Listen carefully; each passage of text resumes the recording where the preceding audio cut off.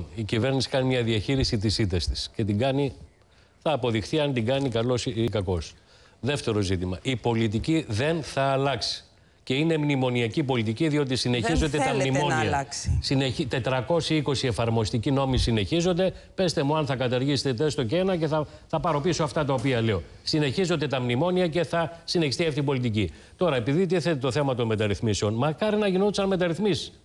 Δεν γίνονται μεταρρυθμίσεις. Με συγχωρείτε. Έρχεται η Τρόικα, σου λέει τόσο πρέπει να κόψω δαπάνες από τους μισθούς των δημοσίων υπαλλήλων και γίνεται μια οριζόντια περικοπή. Πού τις είδατε τις μεταρρυθμίσεις; Εδώ ε, κόψαμε 70 δισεκατομμύρια από το ακαθάριστο εθνικό προϊόν και προσπαθούμε να τα ξαναμαζέψουμε τώρα. Ποια μεταρρύθμιση μιλάμε; Έγινε μια απίθανη καταστροφή στη χώρα και συνεχίζεται δυστυχώς και να συνεχιστεί με αυτή την πολιτική. Επαναλαμβάνω, μακάρι να υπήρχε ένα σχέδιο ανάπτυξης και ένα σχέδιο μεταρρυθμίσεων. Τίποτα από αυτά δεν υπάρχει.